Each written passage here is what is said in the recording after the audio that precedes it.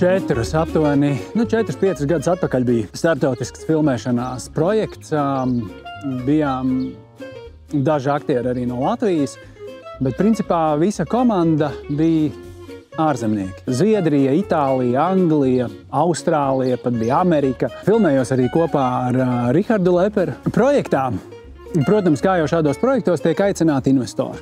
Cilvēki, kas finansiāli atbalsta šo projektu. No arī te tika uzrunāts, uzrunāts viens investors, jauns čalis. Gadi uz to laiku varēja būt kaut kādi nu, arī 33, mana vecuma principā. 33, 34. No ļoti, ļoti bagātas ģimenes. Šveices ģimenes ļoti bagātas, un jā, viņš naudu dos. Iedos tur, cik tur tos, kā saka, eiro, bet ar vienu noteikumu, ka viņš grib filmēties ka viņš grib filmēties šajā filmā. Protams, arī saņemt naudu par to, ja? kas ir pats labākais. Nu, okay, jā, protams, producentiem nekas cits neatliek, naudu vajag. Nu, viņi paņem tātad šo neaktieri pēc profesijas, ja nemaldos, viņš bija jurists vai ekonomists. Ja? Paņem šo čali, iedod viņam lomu. Viņam ir arī lomā teksts, jo viņam noteikti vajag tekstu. Un tagad uh, filmēsies. Nu, labi, jau pirmajās filmēšanās dienās ir, uh, ir skaidrs, ka no viņa aktieris nekāds. Ja, tas apmēram tāds pats, kā no manis varētu būt jurists. Ka, nu, mums katram tomēr ir jādara tas, ko mēs mākam, bet viņš nenormāli grib būt aktieris. Nu, viņš ļoti grib būt aktieris. Nu, pēc tam tur atklājās arī tas, ka jau viņa pieņemsim. Um, provēs. Viņam saka, nu labāk, nē, iedod naudu, bet, bet nefilmējies. Nē, viņš grib, viņš dos naudu, bet viņš grib filmēties. Nu, viss ok, filmējamies, filmējamies. Viena diena, otra diena, trešā diena, kad īsāk, īsāk sakot, visi saprot to, ka tās dienas, te, ka, pieņemsim, ir kaut kāds viņam, tur kaut kāds kadrs, jā, kaut kāds tur tūplāns vai kas, nu tad viss apsēžās un mēs filmējam to ļoti ilgi. Viena no pēdējām maiņām, uh, augsts, rudens, mežs, viss slapjš. Ja nemaldos, jau bija kaut kādi pirmie sniegi krituši.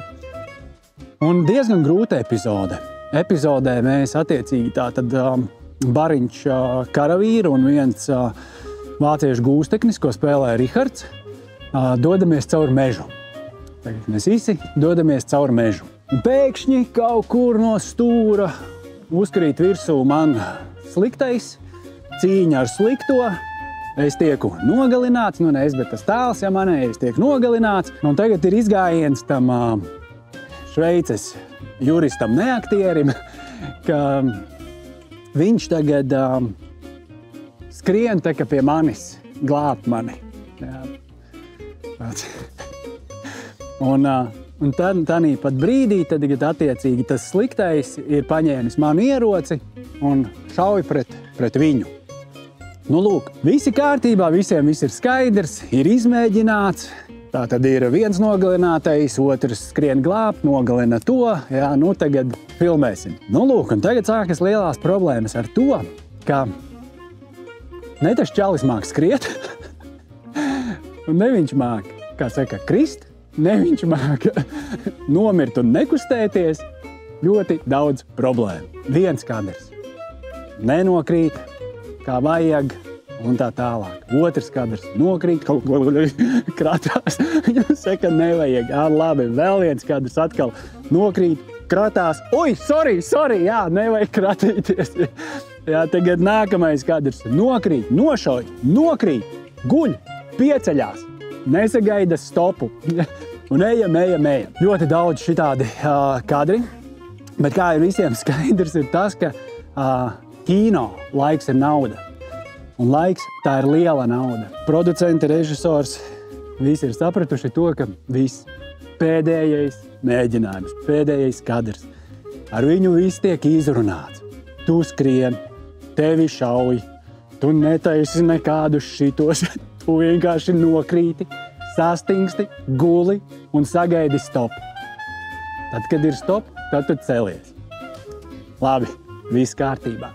And action! Viņš skrien, un viņš skrien. Viņam šauj, viņš nekratās. Viņš nokrīt, viņš guļ sastindzis.